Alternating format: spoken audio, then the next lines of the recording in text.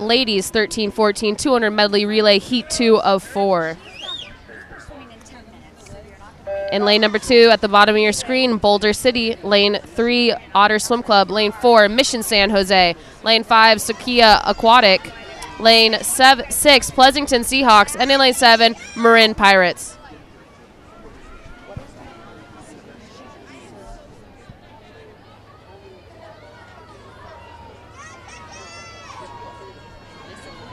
In the water, C2 and 4 is event 105. Girls 13 14. Close race here after the backstroke leg. With the touch is lane five, 29 55.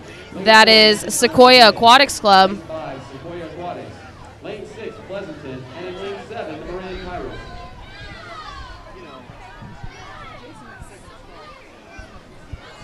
Very tight race there in the middle of, in the middle of the pool in lanes four and five. Mission San Jose in four. Sequoia Aquatics right above her in five. Up there at the top of your screen in lane number seven is Marin Pirates, keeping it very close here on the breaststroke leg.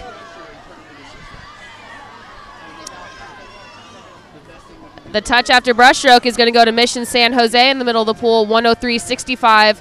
About a second behind her in lane five is Sequoia Aquatics.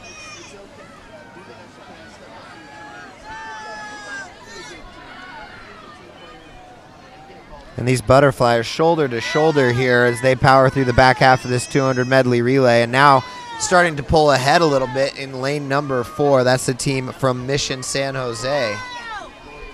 And Mission San Jose is going to enter this Anchor League with a slight advantage, Tiffany. with great underwater dive there for San Jose. She entered the water only about a half a body length ahead, but after the dive was over a body length ahead. Heat number two is going to go to Mission San Jose. Anchor leg looking very strong, extending the lead to a couple body lengths now.